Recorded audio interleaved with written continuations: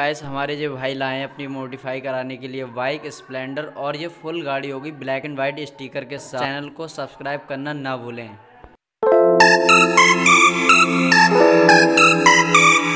Thank you.